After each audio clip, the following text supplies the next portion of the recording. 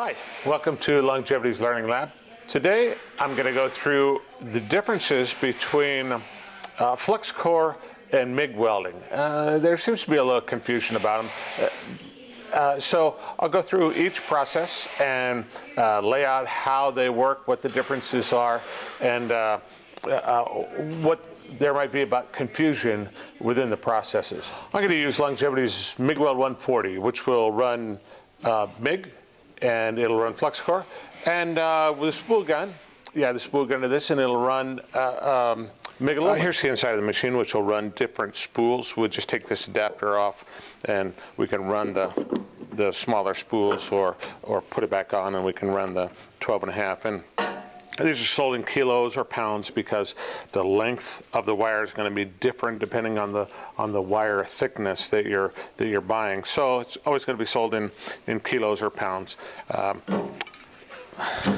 and this is what happens when you don't tuck the wire into one of these little holes the, when you remove the wire from the machine. So always tuck your wire in, uh, uh, pinch it off in, into the little hole, bend it off, or this is what you get, and it can be a lot worse than this. This isn't that bad. Here's my settings for the two welds. This is my MIG weld. My gas was set at 25 cubic feet per hour, and this is my wire speed at 50, and my arc volts at 7 and I'm running at uh, direct current electrode positive and then I switched to uh, uh, flux core and I went to I changed the machine DCEN electrode negative and I went to 8 and 8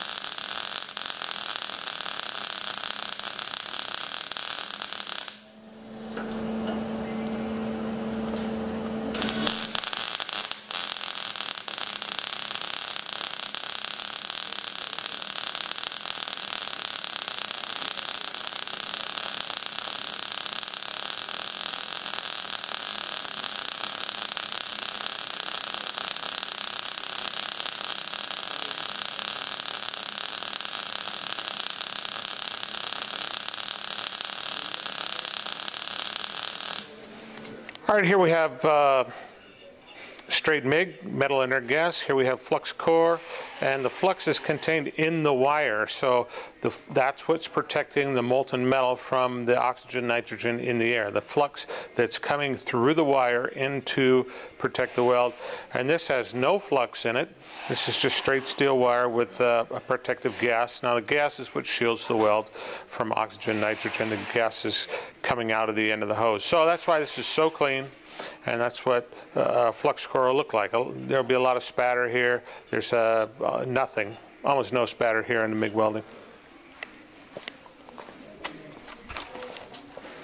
You can see there's a little bit of flux still in the weld here around the flux core. This is really hard to clean out. So if you're doing multiple passes, uh, you're going to contaminate the next weld with this flux. Very tough to clean out. And MIG welding, nothing. There is no flux. There's uh, just the gas that protects the weld. So nice clean weld. This is going to be a little bit tougher to work with. Uh, uh, but you can weld this anywhere, any place, outside, inside. It does have a great variety of applications, whereas the MIG weld is going to need the gas shield, which can be disturbed by, by wind.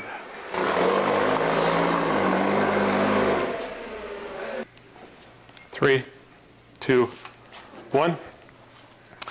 Here's the two wires used in these two welds. This is uh, E71TGS flux core wire.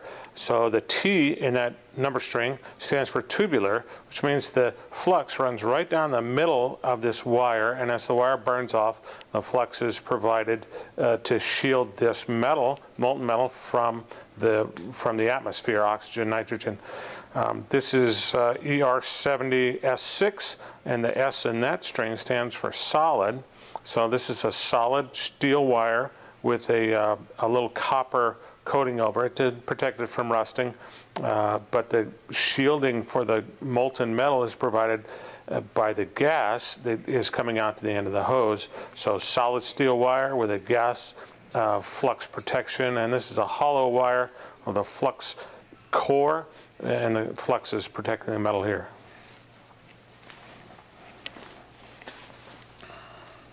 So the same machine is performing both welds. It's feeding wire through the torch to the workpiece. So where the processes start to change uh, is in how the weld itself is protected. So flux core, flux in the wire, uh, doesn't need any shielding gas. The flux is protecting the weld. That means you can weld uh, wind, rain, whatever. You can weld in those conditions.